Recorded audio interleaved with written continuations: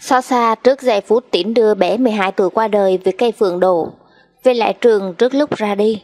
Vào sáng nay bé ca đã được đưa về nơi an nghỉ cuối cùng vì sức khỏe của mẹ bé ca chưa hồi phục nên không thể đưa tiễn con lần cuối. An nghỉ con nhé.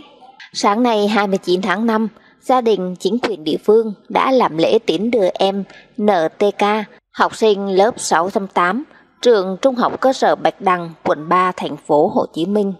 Đi mai táng tại Nghĩa Trang Đà Phước, huyện Bình Chánh.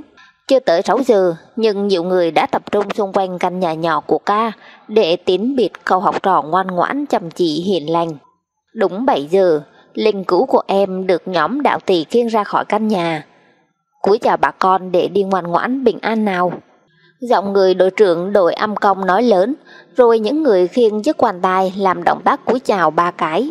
Rất đông hàng xóm họ hàng đã đến chia sẻ động viên cha ca cố gắng vượt qua để chu toàn cho hậu sự của con. Ngay lúc đó trời mưa lách phách. Trời mưa tỉn nó đó, người phụ nữ trong dòng người đưa tỉn nói. Chiếc quan tài được đặt lên xe, nhiều người bật khóc. Những người không quen biết cũng nhập vào dòng người đưa tiễn cậu bé. Xe chở bé vào trường trung học cơ sở Bạch Đăng trước khi đi chôn cắt ở Nghĩa Trang Đà Phước, huyện Bình Chánh. Vị hiệu trưởng, thầy cô cùng với hàng chục học sinh lớp của ca đứng dàn hàng ngay tại cổng vĩnh biệt người học trò, người bạn đáng mến.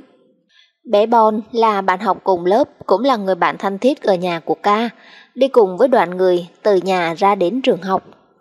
Còn với nó ngày nào cũng chơi với nhau, ở nhà chơi điện tử thì hai đứa cũng tụm vào chơi, lúc nằm nhà con, khi đi qua nhà ca, bày giờ hết rồi, Bon nói. Cánh cổng trường khép lại, học sinh trở vào lớp như mọi ngày, còn ca sẽ được an tán trong sáng nay.